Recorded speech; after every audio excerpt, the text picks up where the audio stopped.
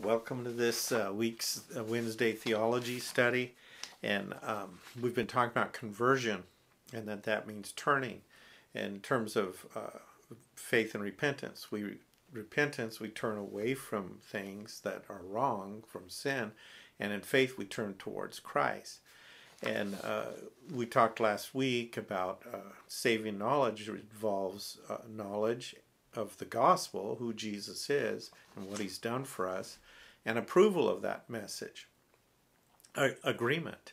And today we want to talk about putting our personal trust in him. And uh, we must know who Christ is and what he's done, and that's knowledge, and we must be in agreement. However, that is not a, alone, that's not enough. That uh, since salvation is ultimately a work of Christ, then it stands to reason we must um, come to put our trust in the saving work of Christ. As I mentioned in the last video, often people um, have put their dependence in their ability to apply the truth. Uh, forgetting that unless the Lord builds the house, they labor in vain who build it. And and that's one of those things we, we come back to. We should follow the word. We and we will be blessed if we do. But the Bible isn't a self help book that you get just to better yourself. The Bible is the living, breathing Word of God that exposes the mind of Christ, and and its purpose is to lead us to a saving faith that ultimately meaning means we put our trust in the person of Jesus Christ, not just the principles of Jesus Christ. And there are groups, there are even atheists out there that apply the principles of Jesus Christ without believing in the person of Jesus Christ.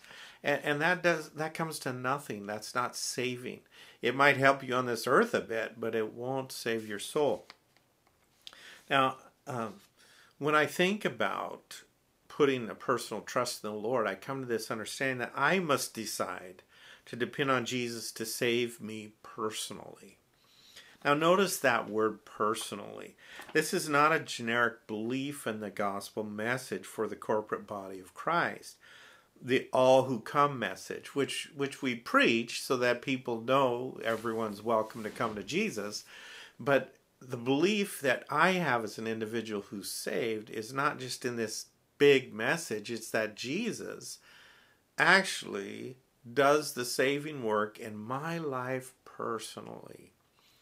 And sometimes it's uh, easier for uh, people to believe in God's saving work in someone else's life because you don't see the nitty gritty of someone else's life. You see the nitty gritty of your life. You see all your failures, you see your thoughts, you see your temptations, and you see your struggles, and your your awareness of the shortcomings involved are much higher and sharper when you look at your own life than someone you don't know as well. And in that context, it really becomes important to remember we have a Savior and we must trust Him to save us in all of our malady and weakness.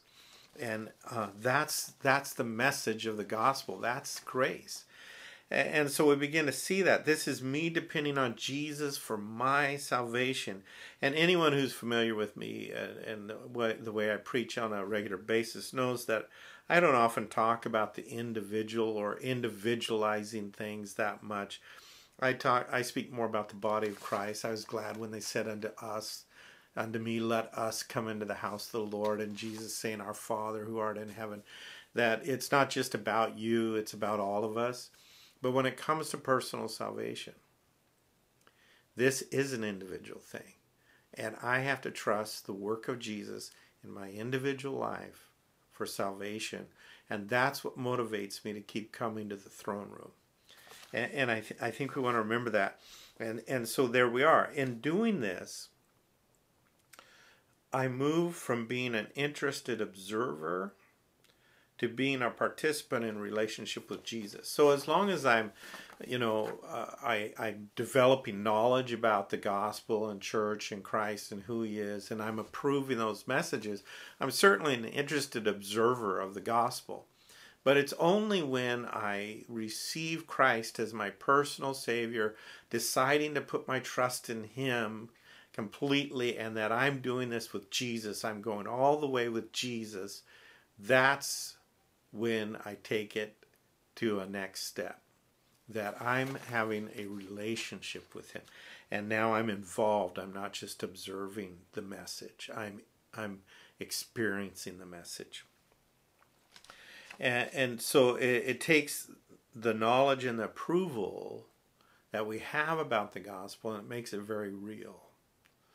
Uh, and, and, so it's one thing for me to say, I know Jesus died to save people, and I agree with that message, but then it becomes real when I, I understand He is saving me and I'm in a relationship with Him. And, and Christianity, you know, what separates us out is that it is a faith for real people in a real world. That it isn't it isn't some religious theory it's not a mental exercise. It's not just a, a book of principles that you can apply to improve your life, which is an unfortunate approach to evangelism. You know, people are always trying to evangelize others by telling them, you'll have a better life if you become a Christian. Um, you know, Paul was beheaded and Peter was hung upside down and John was banished on Patmos. And, and, and those guys weren't out there saying, "Oh, you'll your life on earth will be better. Um, you know, Paul said, We apostles are treated like the garbage of the earth. Um, that's not him saying, My life on earth is better. What they were saying is, You need a Savior because God is real. There's an eternal judgment, there's also eternal reward. Put your trust in Jesus for that eternal reward. That's not the message of self help, that's the message of redemption. And it's a completely different message and and you say well people won't buy that. Anyone that god is drawing to jesus will come to jesus. This is a supernatural thing that christ does. It's the work of christ not the work of man. And we want to come back to that. And, and believing in the power and living by the power that is in redemption. And so that's why i say christianity is for real people real messed up people, people who know their failures, people who can't get into the kingdom any other way but through the blood of Jesus. That's what Christianity is for. And incidentally, that's everyone. Uh, so let's, on the basis of this knowledge, define saving faith. Saving faith is trust in Jesus Christ as a living person for forgiveness of sins and eternal life with God. So that that's saving faith. Uh, and I'll, I'll just repeat it. Saving faith is trust in Jesus Christ as a living person for the forgiveness of sins and for eternal life with God. That's what he's done for us. Notice that this definition is, is not just a belief in facts about Jesus, but in the person of Jesus. Thus, indoctrination is not what is essential to saving faith, but relationship is what is essential to saving faith. Understandably, salvation is more than just the forgiveness of sins and eternal life. I understand that. However, those are the two utmost concerns uh, for people coming to Christ the forgiveness of sins and eternal life. Consequently, for now, that is what we will look at, and the other aspects can be discussed later. So, trust is, when we think about saving faith, uh, I would say trust is a better word choice in our current culture than faith. And, and not because faith isn't real, but because faith, uh, the, the def, faith has been redefined so many different ways by so many different people, uh, particularly in the religious community, that uh, to really comprehend this idea behind saving faith, we're going to think in terms of personal trust and and uh, you know um, we see that our definition emphasizes personal trust in Christ, and ultimately that's what it comes down to. Uh, faith is a term that has been somewhat profaned uh, from its original meaning through religion, and so when we look, that's why we're talking about trust. The problem is we can believe something is true without trusting Jesus. So faith has to be more than saving faith has to be more than belief about but trust in. And that's that's why I'm making that semantic distinction. And we can have faith and believe by today's standards without personal commitment. People do it all the time. They believe all kinds of things without personal commitment. Um, Trust, on the other hand, implies risk and action. And, and that's that's very different, isn't it? Uh, so thus we see trust as coming closer to the biblical idea of faith. That's why we're talking about trust. Uh, if we were to go back and really look into the biblical idea of faith, too many have turned faith into a mental exercise whereby you convince yourself of something. You know, I choose to believe these things. Uh, that's not faith. That's convincing yourself of something. Uh, it's not mind over matter. You know, when you think of what the, unfortunately, what the Word of Faith movement has done with the concept of faith, you know, that I'm going to tell myself it's true and I'm going to demand it and I'm going to play this mental power game where my mind says it's going to happen until it does, you become your own miracle worker at that point. Then you say, I had faith, I believe. You know if there's a miracle because of my prayers, it will be Jesus who does that miracle, not my puny little brain. And and that's the problem. We have defined faith. To continue that, let's look at John 3:16. God loved the world this way. He gave his only son so that everyone who believes in him will not die, but will have eternal life. Now, this verse is a primary and basic text for saving faith that we use to witness. It's it's it's one of our texts that we use. It's foundational in stating what we believe about the work of Jesus. And note it identifies belief in him.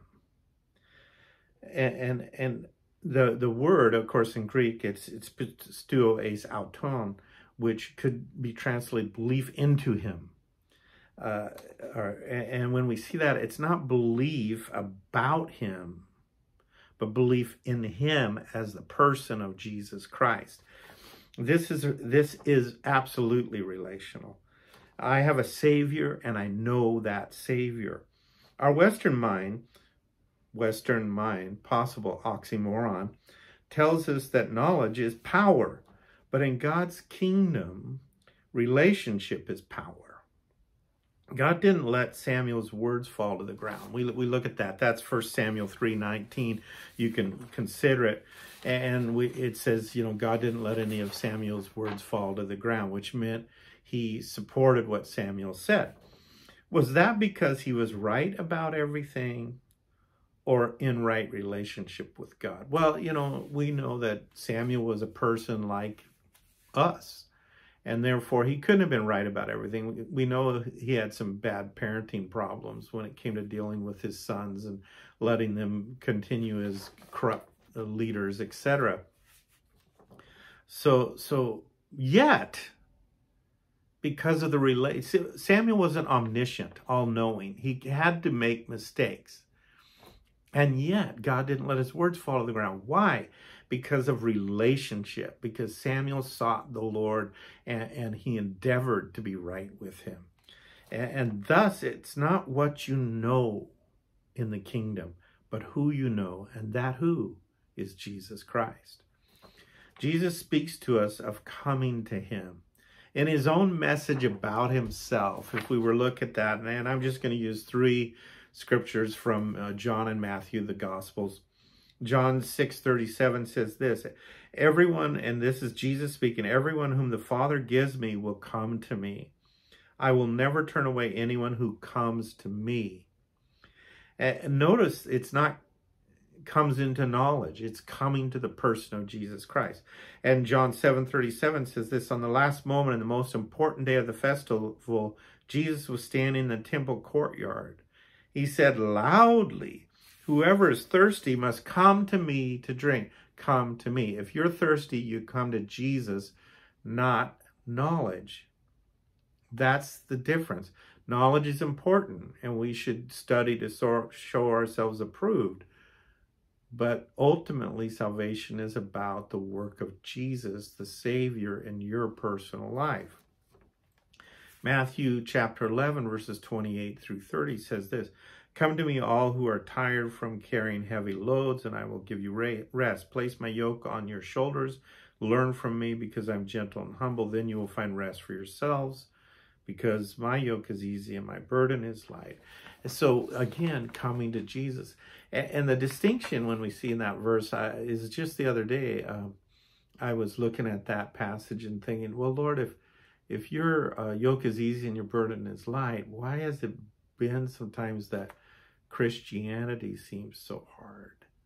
Uh, and and the reason is because we make it about what we're doing based on our knowledge instead of what He has done in us and how He's transforming us.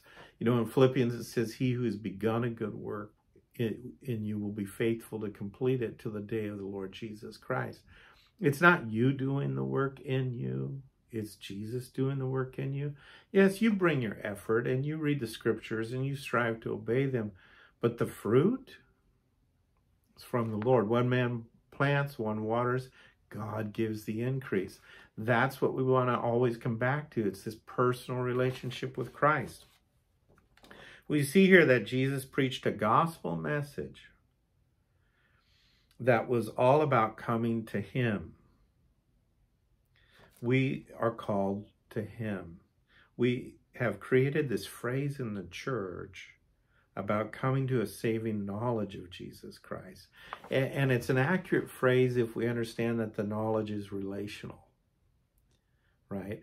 Unfortunately, um, when we think of knowledge in the Western mind, we think of intellect rather than uh, relational experience with the Savior.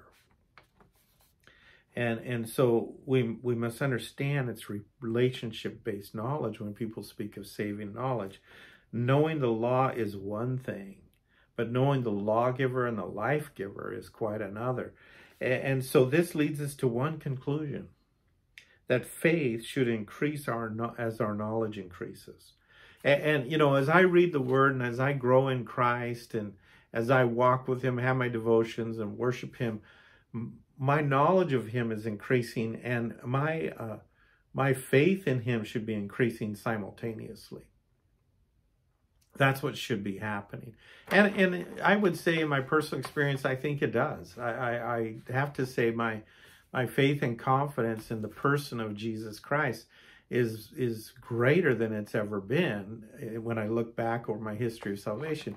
Now, remember, if I'm defining faith with that accurate term trust, it makes so much more sense that I'm not putting my faith in miracles. I'm not putting my faith in prayer as prayer. I'm putting my faith in Jesus, the one whom I pray to.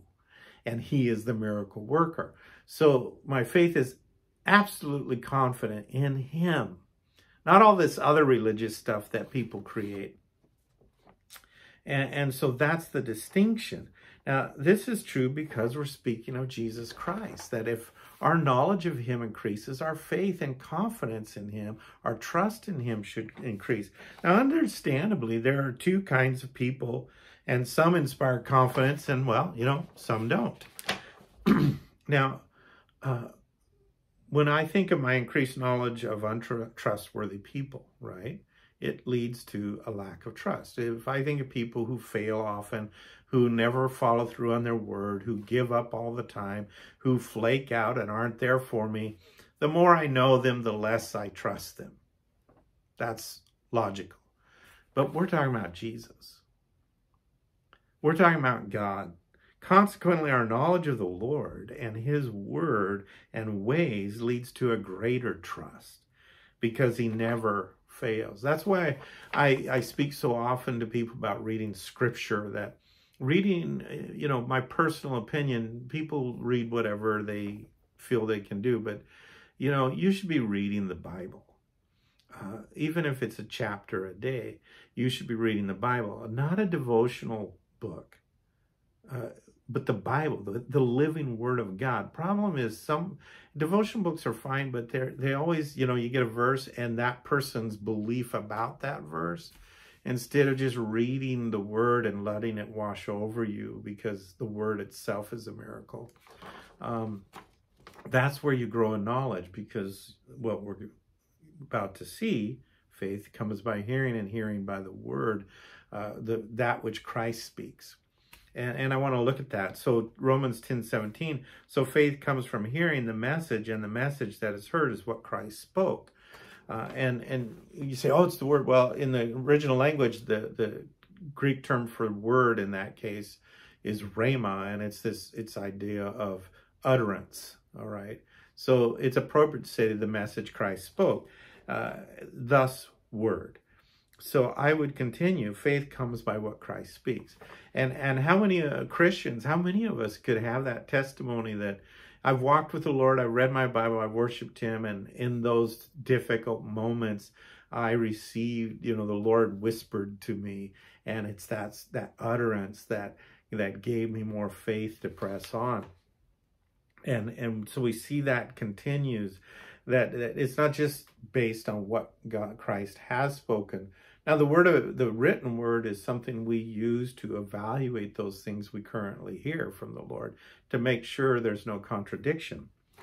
Uh, James John 16 verse 13 Jesus said this when the spirit of truth comes it's the holy spirit he will guide you into the full truth. He won't speak on his own.